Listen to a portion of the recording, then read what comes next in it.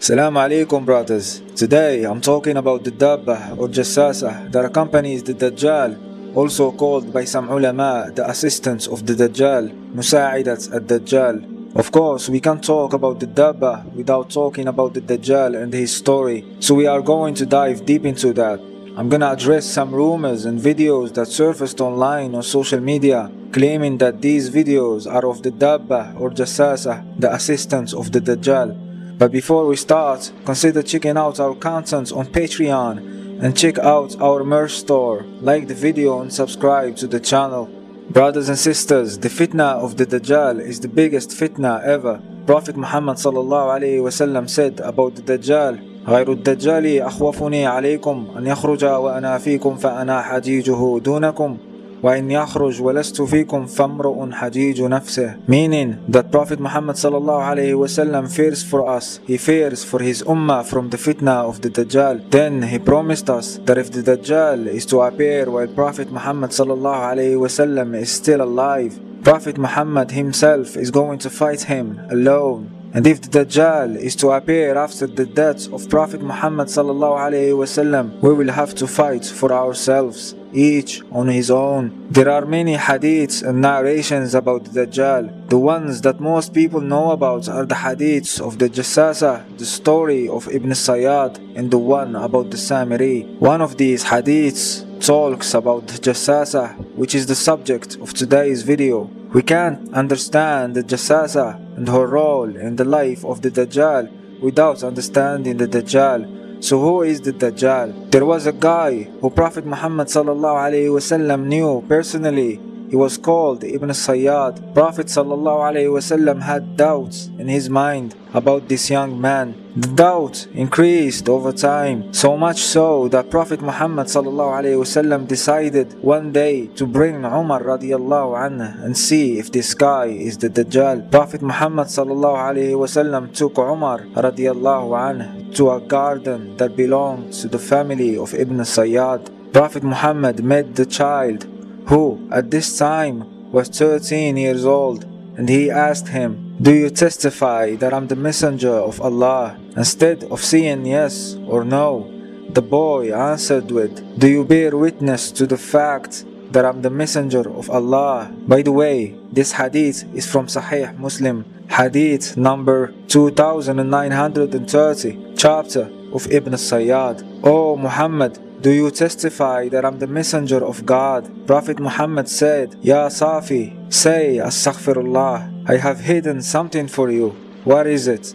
After thinking for a while, Ibn Sayyad said, Ad-Dukh, Ad-Dukh. Brothers, Ibn Sayyad was trying to say Ad-Dukhan, which means smoke in Arabic. Prophet Muhammad stopped him and said, You will not overstep your limit and left Ibn Sayyad in his place. Umar radiallahu anha asked the Prophet Muhammad sallallahu alayhi wasallam if Ibn Sayyad guessed the name right. And Prophet Muhammad said the name Dukhan was hidden from him. So Prophet Muhammad was thinking about the word Ad-Dukhan and Ibn Sayyad knew the word in the mind of Prophet Muhammad. So, after hearing the story, the Sahaba of Rasul were pretty sure that Ibn Sayyad was the Dajjal. Everybody was afraid, including most of the Sahaba who insisted it was the Dajjal and that Prophet Muhammad has just encountered the Masih Dajjal. The Prophet Muhammad never confirmed their claims because Prophet Muhammad knew it wasn't him. The hadith that we have just recited pretty much confirms that the Dajjal is someone other than Ibn Sayyad which brings us to the hadith of Jassasa, the topic of Jasasa. These are some clips that have surfaced lately on TikTok, Instagram and YouTube. People claim that this little hairy creature is the Jasasa, the assistant of the Dajjal. So, brothers, is this true? Are these claims correct? Let's examine the facts. But before we do, quick message to you guys. Please support the channel by checking out our upcoming series of documentaries about jinns on Patreon. These videos will be exclusive to our Patreon audience and won't be posted on YouTube. We also have a merch store. Pick an item with the design of your liking while supporting the channel. Brothers, the Jasasa was mentioned in the hadith of the companion of Prophet Muhammad wasallam who came from his trip after a long voyage.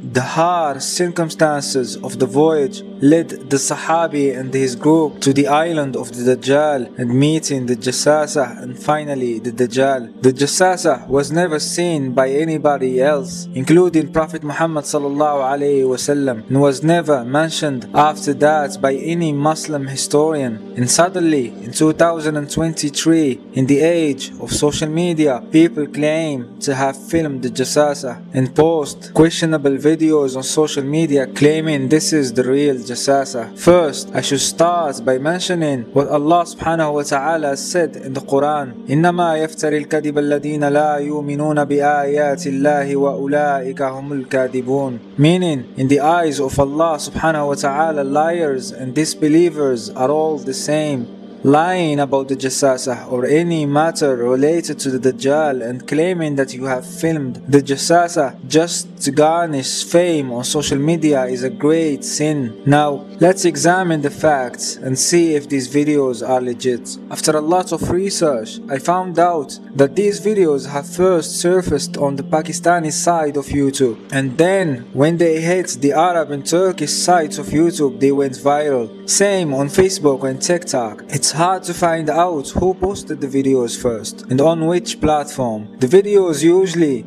feature a small, hairy creature running away and running in circles or dancing. The videos are usually low quality, which is a red flag.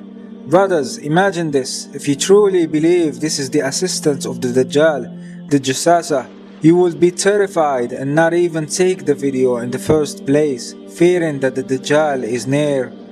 And even if your Iman is strong, why would you not provide a high quality footage? Forgive me brothers for jumping straight to the footage not explaining more about the Jassasa. The Jassasa was mentioned in the hadith told by Prophet Muhammad wasallam about Tamim al-Dari, a companion of the Prophet. The hadith is very long, so we are going to take parts from it. Prophet Muhammad wasallam said, Tamim al-Dari told me something which agrees with what I was telling you about the Dajjal.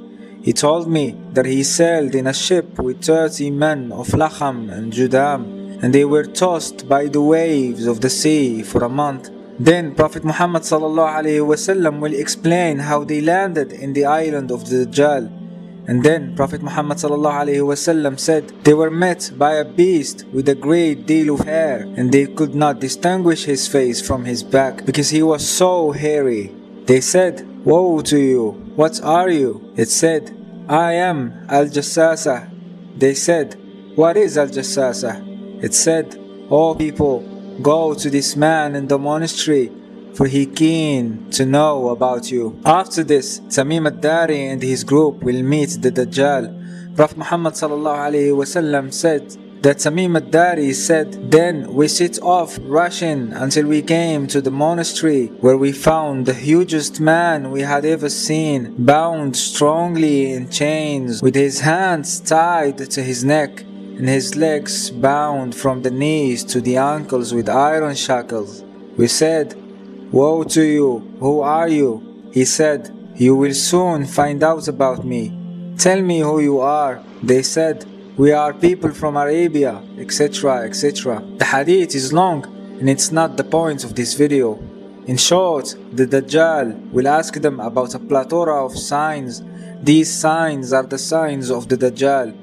If you want, dear brothers, I can make a video about the signs of the coming of the Dajjal. If you guys are interested, let me know in the comment section below. So, the description of the Jasasa by Tamim al-Dari provided to us by Prophet Muhammad wasallam matches the footage that surfaced online about the Jasasa. Still, this is not proof that this footage is real. The footage is most likely fabricated, although it seems hard to do. But there are people out there who possess the time and technical knowledge to fabricate such videos and then render them in low quality to fool the audience into thinking that the video is real. By rendering it low quality, you make it harder for the viewer to distinguish between a real and fake footage. Wallahu a'lam. Another proof that the footage is not the footage of the true or the real Jassasa is the fact that the video first surfaced on the Pakistani side of the internet and then went viral in places like Turkey and most Arab countries. The Jassasa is supposed to be trapped with the Dajjal and his island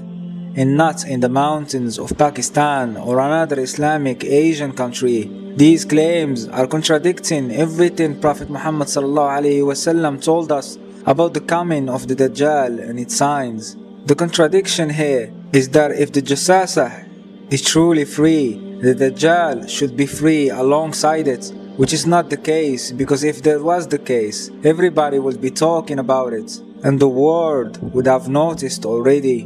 Brothers, if you think I'm jumping to conclusions quickly, please let me know in the comment section below. But I don't think this is the real Jassasa and I'm gonna assume the footage is fake. Again, if you disagree with me, let me know in the comment section. Allahumma najina min fitnatil masih dajjal. Protect us, O Allah, from the fitna of the Dajjal.